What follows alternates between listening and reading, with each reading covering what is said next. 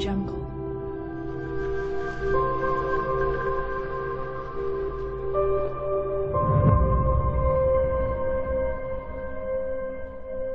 Audio Jungle. 原标题：外戚发迹，梁贵人的冤死，却带来了梁家的尊显。外戚发迹，梁贵人的冤死，却带来了梁家的尊显。汉章帝的贵人梁氏，安定乌氏，今甘肃平凉人。梁氏是开国功臣梁统的孙女，其父梁总是个有名的才子，不但喜好读书，还曾经著书立说，但却郁郁不得志。妻子生下三男三女之后，不幸病逝。其嫂是光武帝的女儿武英长公主，嫁梁悚之兄梁松为妻。当武英长公主看到梁悚孤身一人，抚养幼子十分困难，于是主动提出收养了她们三姐妹。所以说，梁氏三姐妹虽从小失去母亲，但在武英长公主的呵护下，也都长得如花似玉，知书达理。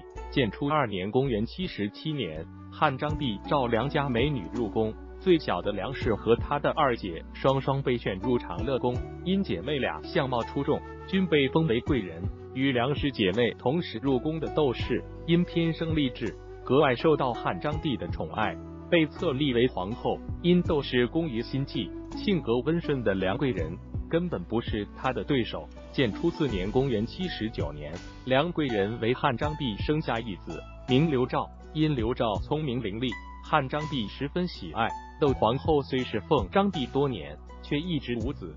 聪明的她见汉章帝喜爱刘肇，于是主动要求将刘肇收为养子。汉章帝十分高兴的答应了。梁贵人虽心中不愿，但也知道窦皇后的秉性。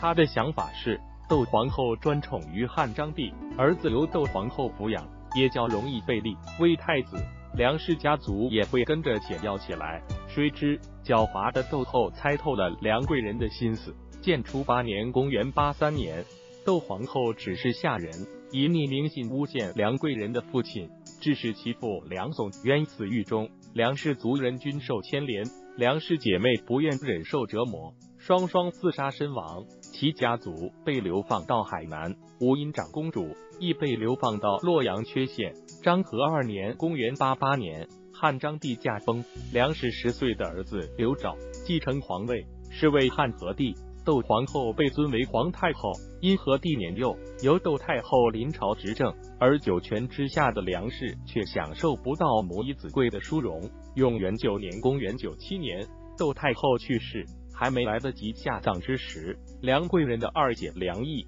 上书陈述贵人往没之状。太尉张仆、司徒刘芳、司空张奋也上奏。请求依照汉光武帝贬黜吕后的势力，贬去窦太后的尊号，不与汉章帝合葬。但汉和帝守诏曰：窦氏虽不遵法度，而太后常自减损。朕奉侍十年，身为大义礼，臣子无贬尊上之文，恩不忍离，义不忍亏。按前世上官太后亦无讲处，其勿复议。汉和帝因念及窦太后的养育之情，仍按皇太后的仪式。将她与汉章帝合葬于晋陵。汉和帝因生母梁贵人受冤枉而死，于是将其重新厚葬，以贵人之礼葬之，视为恭怀皇后。追扶丧制，百官缟素，欲解梁大贵人俱葬西陵靖远，并追封自己的外祖父梁悚为包亲敏侯，把梁悚被贬到旧真的梁唐、梁雍、梁翟都封为侯爵，赏赐巨万，宠誉无比。梁氏一族自此开始发迹尊显。本篇完。